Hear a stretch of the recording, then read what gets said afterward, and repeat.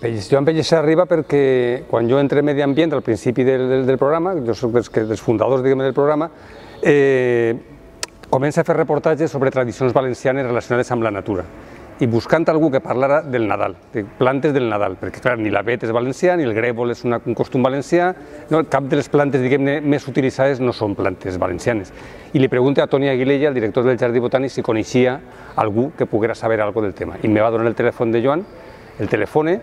me diu que ell no coneix mm, cap planta, tal com jo li pregunte per aquestes utilitzacions, però que va mirar-ho, que el torna a telefonar, el telefone, me diu que no, però que si, que si vol, si vull, podem quedar i parlar de plantes, perquè ell fa un treball, m'explica el treball que fa, tot el que quedem, li faig un reportatge parlant ell de la, de la, del seu treball, el que estava fent el treball etnobotànic, i quan el porta a la tele, per una vegada coincidim els, els, els capos de la tele, jo així hem trobat una, una estrella de la televisió. Esta persona mm, és que, és que té, és, va triomfar segur en el món televisiu. I l'empresa em proposa fer-li un contracte eh, d'una manera assombrosa, miraculosa, diuen anem a contractar-lo per, a, per a fer un mini espai dins de, de medi ambient. I així comença. I clar, com jo havia sigut el seu descobridor, entre cometes, per a la tele, pues me quedé jo ja en ell els vuit anys fent el, les nostres plantes.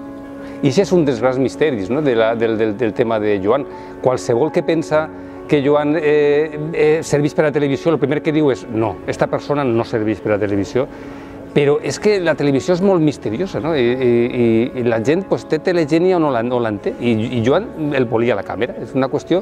Joan era una persona, de més, molt senzilla, i en un món com el televisiu, tan complicat, tan alambicat, cada vegada més, en una televisió que, a més, feia tòmbola, feia aquests programes tan espantosos, diguem-ne que era com, un, com un, un raig de llum que va entrar